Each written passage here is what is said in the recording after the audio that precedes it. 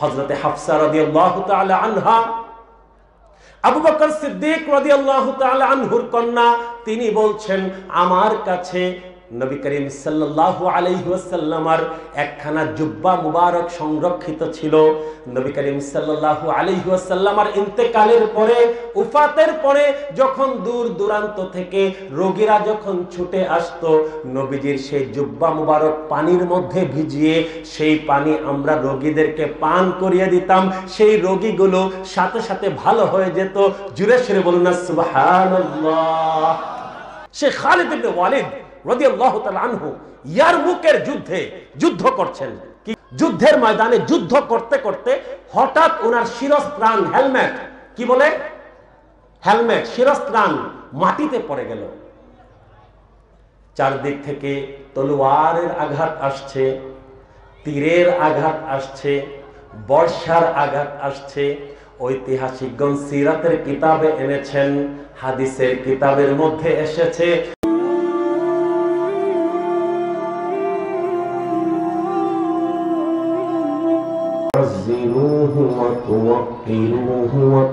وتسبحوه بكرة وأصيلا. صدق الله المولانا العظيم وبلغ رسوله النبي الحبيب الكريم. ونحن على ذلك من الشاهدين والشاكرين. وقال الله تعالى أيضا في شأن حبيبه ومحبوبه مخبرا وآمرا. إن الله وملائكته يصلون على النبي. يا أيها الذين آمنوا صلوا عليه وسلموا تسليما. اللهم صل على سيدنا مولانا محمد وعلى سيدنا مولانا محمد এমন ঘরে যাইবারে মন যেই ঘরের নাই ঠিকানা এমন দেশে যাইবারে মন যে দেশের নাই ঠিকানা এমন ঘরে শুইবারে মন, এমন ঘরে শুইবারে মন, আলো বাতাস থাকবে না, আল্লাহুম্মা সাল্লি আলা সাইয়্যিদিনা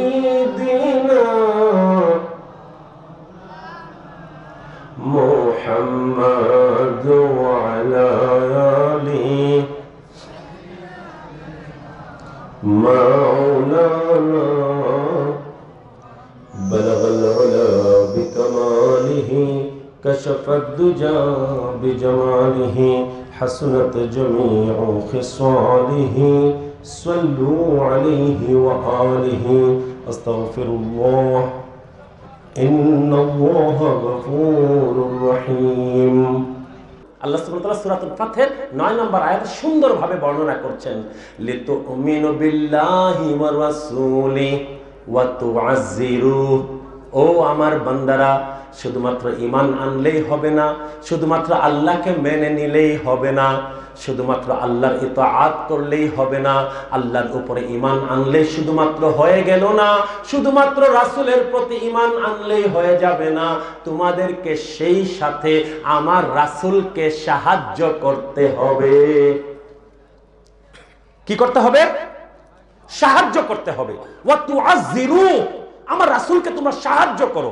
সাহাবায়ে কেরাম যখন দুনিয়াতে ছিলেন, তারা তাদের টাকা, পয়সা, ইজ্জত, সম্পদ, ধন, দৌলত, সকল কিছু দিনের জন্য কুরবান করে দিয়ে, এমনকি নিজেদের জীবন উহুদের ময়দানে দয়াল নবীকে হেফাজত করার জন্য সত্তর জন সাহাবি নিজের নিজের প্রাণ হাসতে হাসতে নিজের প্রাণ দয়াল নবীর জন্য দিয়ে দিয়েছেন।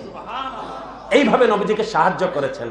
আর এখন আমাদের যাদের সামনে দয়াল নবী নাই বাহ্যিকভাবে আমাদের যাদের সামনে দয়ার নবী নাই, আমাদেরকে কি করতে হবে? এই ইসলামের প্রচার প্রসারের জন্য, ইসলামকে প্রতিষ্ঠা করার জন্য, নিজের মধ্যে, পরিবারের মধ্যে, সমাজের মধ্যে, রাষ্ট্রের মধ্যে এই ইসলামকে প্রতিষ্ঠা করার জন্য আমাদের সময় দিতে হবে, টাকা পয়সা দিতে হবে, শ্রম দিতে হবে। তাহলে এইটাই হবে নবী করিম সাল্লাল্লাহু আলাইহি সাহায্য করা। নবীজিকে আমাদের সাহায্য করতে হবে। দ্বিতীয় অব্লিগেশন আল্লাহ এবং আল্লাহ রাসুলের প্রতি ইমান আনা, নবী করিম সাল্লাল্লাহু সাল্লামকে সাহায্য করা এখন তৃতীয় অব্লিগেশন বলছেন। لتؤمنوا বিল্লাহি ورسوله وتعزروه তুওয়াক্কিরুহু। ও আমার বান্দারা ঈমান আনলেই শুধু হবে না, নবীকে সাহায্য করলেই শুধু হবে না, আমার নবীকে তোমাদের যেইভাবে সম্মান করা প্রয়োজন, ঠিক সেইভাবে সম্মান প্রদর্শন করতে হবে। কোরআন মাজিদের কথা সুস্পষ্ট ভাবে লেখা আমার নবীর প্রতি তাওকির করো, তাজিম করো show some respect to my prophet সাল্লাল্লাহু আলাইহি আমার নবীকে সম্মান করতে হবে। আমার নবীর যে প্রোটোকল আছে, আল্লাহর পর নবী করিম সাল্লাল্লাহু আলাইহি ওয়াসাল্লামের স্থান। সৃষ্টির মধ্যে নবী করিম সাল্লাল্লাহু আলাইহি ওয়াসাল্লামা তিনি হচ্ছেন সর্বশ্রেষ্ঠ।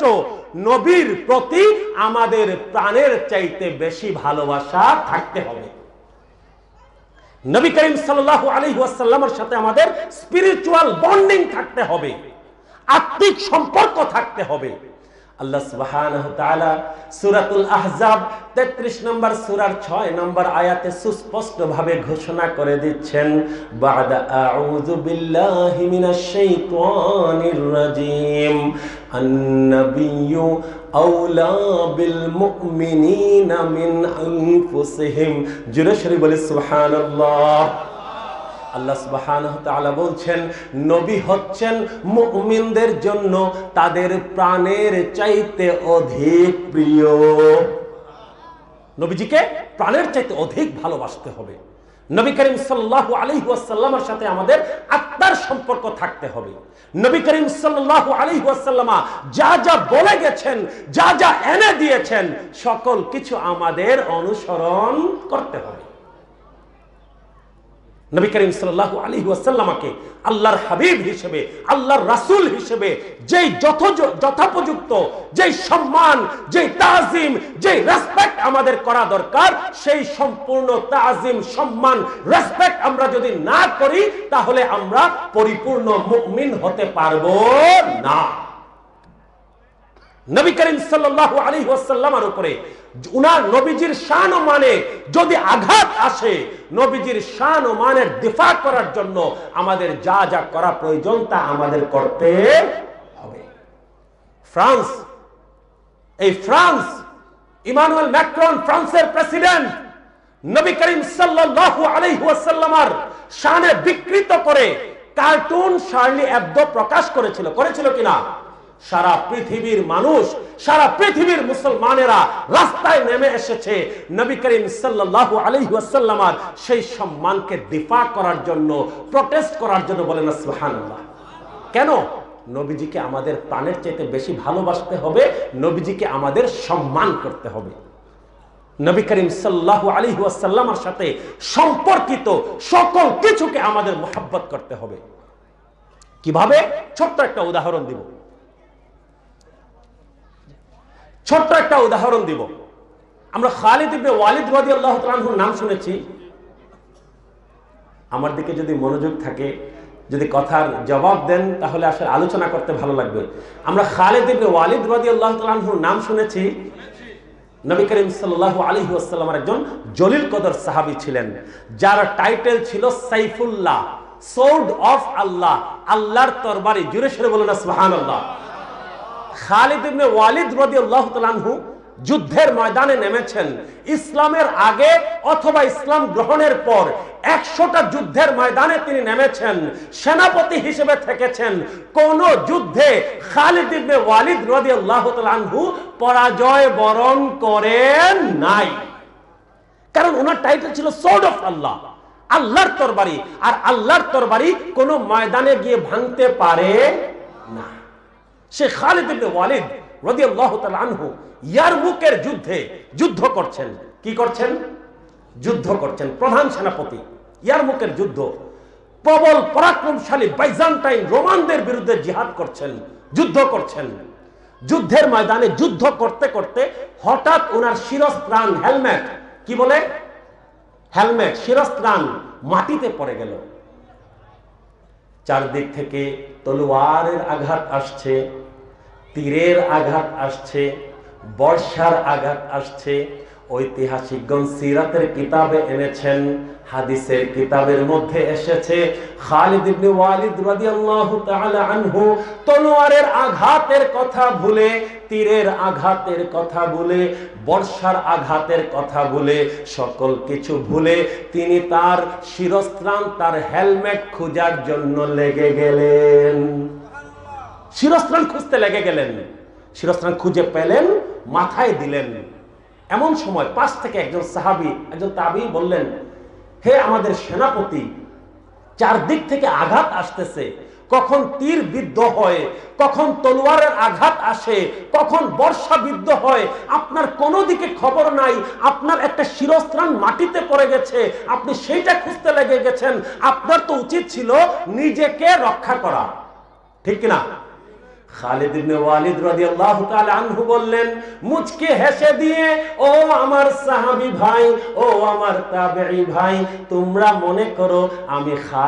আমার বীরত্বের কারণে আমি যুদ্ধের ময়দানে এসে জয়ী হই।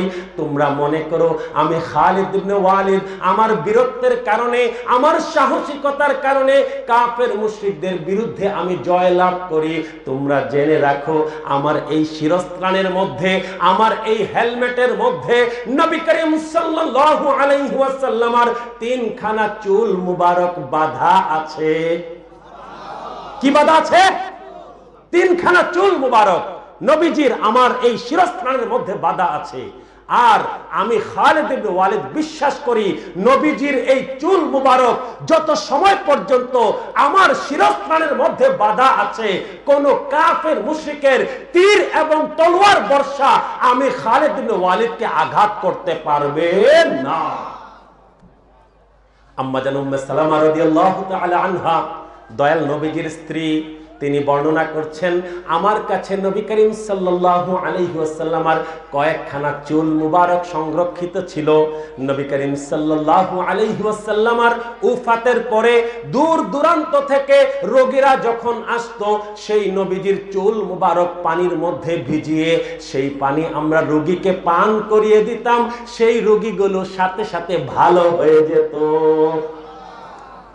নবী করিম সাল্লাল্লাহু আলাইহি ওয়াসাল্লামের স্ত্রী আম্মা জান আয়েশা সিদ্দিকা রাদিয়াল্লাহু তাআলা আনহা, উনার বড় বোন হযরতে হাফসা রাদিয়াল্লাহু তাআলা আনহা সিদ্দিক আকবর রাদিয়াল্লাহু তাআলা আনহুর কন্যা, তিনি বর্ণনা করছেন, মুসলিম শরীফের সহি হাদিস যে কথাগুলো বলছি, সকল কিছু সহি হাদিসের বর্ণনা, কোনো বানোয়াট কিচ্ছা কাহিনী নয়। যদি কারও রেফারেন্স লাগে, আমার লিখিত কিতাব আলোকপাত আছে, আলোকপাতের মধ্যে সকল কিছু আমি বিস্তারিত রেফারেন্স সহ লিখেছি। যদি কেউ চেক করতে চান চেক করে নিতে পারেন। হজরতে হাফসা রাদিয়াল্লাহু তাআলা আনহা আবু বকর সিদ্দিক রাদিয়াল্লাহু তাআলা আনহুর কন্যা তিনি বলছেন আমার কাছে নবী করিম সাল্লাল্লাহু আলাইহি একখানা জুব্বা মুবারক সংরক্ষিত ছিল। নবী করিম সাল্লাল্লাহু আলাইহি ইন্তেকালের পরে, উফাতের পরে যখন দূর দূরান্ত থেকে রোগীরা যখন ছুটে আসতো, নবীজির সেই জুব্বা মুবারক পানির মধ্যে ভিজিয়ে সেই পানি আমরা রোগীদেরকে পান করিয়ে দিতাম। সেই রোগীগুলো সাথে সাথে ভালো হয়ে যেত। জুড়ে সেরে বলুন সুবহানাল্লাহ। এই জন্য বলছি, নবী করিম সাল্লাল্লাহু আলাইহি ওয়াসাল্লামকে মোহাব্বত করতে হবে, নবীজিকে সম্মান করতে হবে, তাজিম করতে হবে রেসপেক্ট দেখাতে হবে। নবী করিম আলাইহি ওয়াসাল্লামের সাথে সম্পর্কিত সকল কিছুর সাথে আমাদের মোহাব্বত এবং ভালোবাসার সম্পর্ক থাকতে হবে। মদিনা শরীফকে ভালোবাসতে হবে, মসজিদে নববীকে ভালোবাসতে হবে, নবীর আহলে নবীর পরিবার আহলে বায়তের নাম শুনেছি আমরা, নবীর পরিবার। নবী করিম সাল্লাল্লাহু আলাইহি ওয়াসাল্লামার রক্তের সম্পর্কের যারা আছেন, তাদেরকে ভালোবাসতে হবে। নবী করিম সাল্লাহ আলহিউসাল্লামার পবিত্র স্ত্রীগণকে ভালোবাসতে হবে, খোলাফায় রাশদিনকে ভালোবাসতে হবে, সাহাবায় কেরামকে ভালোবাসতে হবে। সবাইকে ভালোবাসবো কার কারণে? কারণ আমরা নবী করিম সাল্লাহ আলহিউসাল্লামাকে ভালোবাসি। নবীজির সাথে মোহাব্বতের সম্পর্ক থাকতে হবে, তাজিমের সম্পর্ক থাকতে হবে, নবীজির সাথে আমাদের রুহানি সম্পর্ক থাকতে হবে। আর নবীজির সাথে সেই রুহানি সম্পর্ককে যদি ডেভেলপ করতে হয়, দরুদ এবং সালাম আমাদেরকে বেশি বেশি করে দিতে হবে। তিরমিজি শরীফের সহি হাদিস নবী করিম সাল্লাল্লাহু আলাইহি ওয়াসাল্লাম বলছেন আমি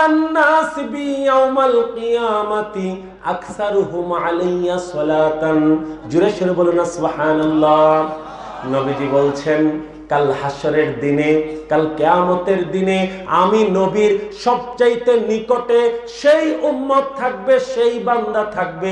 এই দুনিয়াতে থাকতে আমি নবীর উপরে যেই ব্যক্তি সবচাইতে বেশি দূরত পাঠ করে আমি নবীর উপরে যে সবচেয়ে, সবচাইতে বেশি দরদ পাঠ করে, তার সেই ব্যক্তি আমি নবীর কাল হাসরের দিনে সবচাইতে নিকটে থাকবে।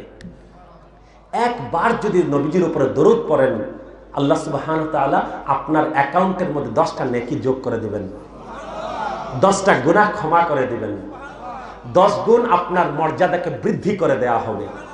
এমন কোন নফল আমল নাই, যেই আমল করলে পরে দশটা গুণা মাফ হয়, দশটা নেকি হয় এবং আপনার মর্যাদা দশ গুণ বৃদ্ধি হয়ে যায়। মুসলিম শরীফের সহি হাদিস নবীজি বলছেন, মান সাল্লা আলাইয়া সালাতান ওয়াহিদা সাল্লাল্লাহু আলাইহি বিহি আশরান যেই ব্যক্তি আমি নবীর উপরে একবার মাত্র দরুদ পাঠ করবে, আল্লাহ সুবহানাহু ওয়া তাআলা তার উপরে 10টা রহমত বর্ষণ করেন। আমাদের জীবনের দুঃখ, দুর্দশা, হতাশা, গ্লানি, সকল কিছু যদি দূর করতে হয়, নবীজির উপরে বেশি বেশি করে দরুদ পাঠ করতে হবে। দরুদ নিয়ে যদি আলোচনা করি, ফজরের ওয়াক্ত হয়ে যাবে। দরুদের ফজিলত শেষ হবে না। শুধুমাত্র দরুদ পড়লেই হবে না। আবু দাউদ শরীফের সহি হাদিস নবী করিম সাল্লাল্লাহু আলাইহি ওয়াসাল্লাম বলছেন, মা মিন আহাদিকুম ইসাল্লিমু আলাইয়া ইল্লা রাদ্দাল্লাহু আলাইয়া রূহি হাত্তা আরুদ্দা আলাইহি সালাম। জুরে সুরে সুবহানাল্লাহ। নবীজি বলছেন, তোমাদের মধ্যে কেউ যদি আমি নবীর উপরে দুনিয়ার যেই কোনো প্রান্ত থেকে যদি আমি নবীকে সালাম দেয়, আল্লাহ সুবহানাহু ওয়া তাআলা আমাকে ক্ষমতা দেন, আমি আমার সেই উম্মতের সালামের জবাব প্রদান করি। হাদিসের কিতাবের মধ্যে এসেছে সহি হাদিস। নবীজি বলছেন, ইন্নালিল্লাহি সাইয়াহিনা ফিল আরদ। নিশ্চয়ই এই আল্লাহর জমিনের মধ্যে এমন কিছু ফেরেশতা আছেন যারা জমিনে ঘুরে বেড়ান। তাদের আর কোনো কাজ নাই। যদি কোনো বান্দা, যদি কোনো উম্মত নবীজির উপরে দরুদ দেয়, যদি কোনো নবীজির উপরে, যদি কোনো বান্দা সালাম প্রদান করে, সেই সকল ফেরেস্তারা তাদের নাম, ঠিকানা পরিচয় সহ সকল কিছু নিয়ে নবীজির কাছে সেই দরুদ এবং সালাম পেশ করেন। যতবার আপনি নবীজির উপরে দরুদ পড়বেন, সালাম দিবেন, ততবার আপনার নাম পরিচয় নবীজির কাছে পেশ করা হবে।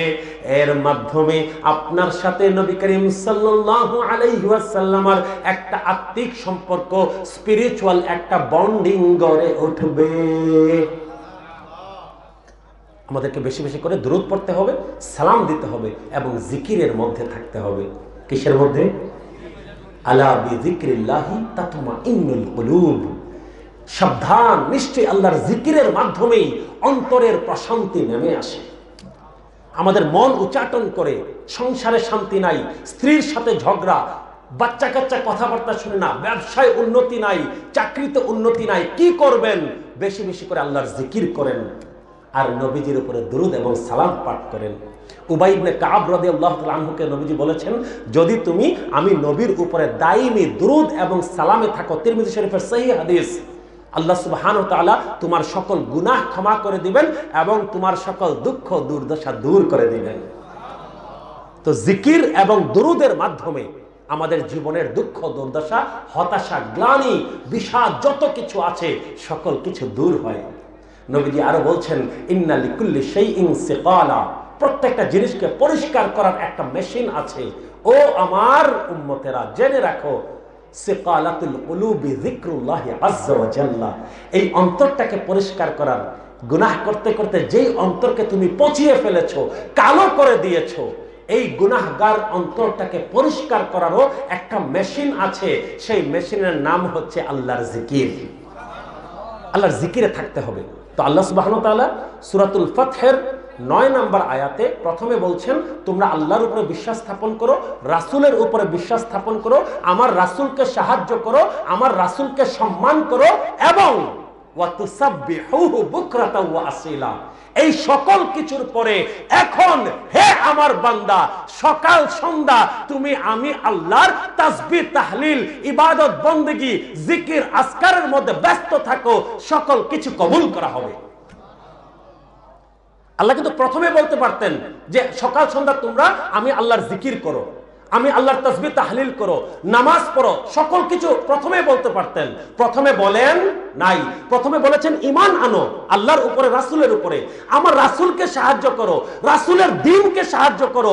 Show some respect to my prophet আমার নবীকে ভালোবাসো, নবীকে তাজিম করো। এই সকল কিছু বলার পর এখন বলছেন, তোমার মধ্যে আল্লাহর ভালোবাসা আছে, আল্লাহর প্রতি ইমান আছে, রাসুলের প্রতি ভালোবাসা আছে, রাসুলের প্রতি তাজিম আছে দিনের প্রতি মহব্বত আছে।